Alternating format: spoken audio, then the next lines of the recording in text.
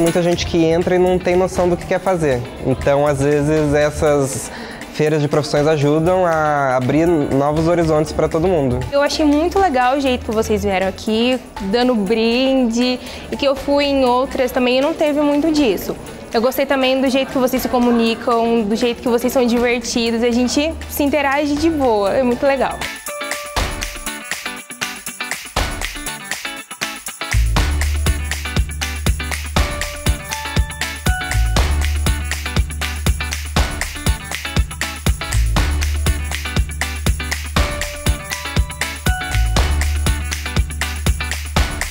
É bem interessante, né? Tem um teste vocacional aqui, né, para abrir novos caminhos para gente.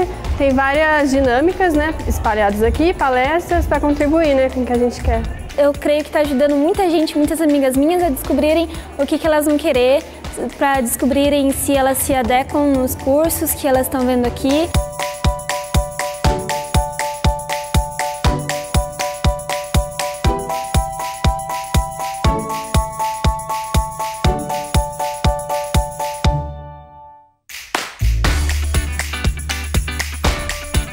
Eu acho fundamental eventos como esse, porque eu acho que são eventos que encurtam caminhos. Muitas vezes um jovem que não participa de um evento como esse, ele tem uma probabilidade de errar mais.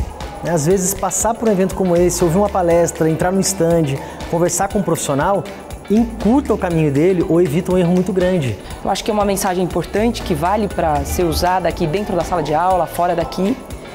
E acho que é, mais do que isso, a gente se olhar um pouquinho para dentro da gente.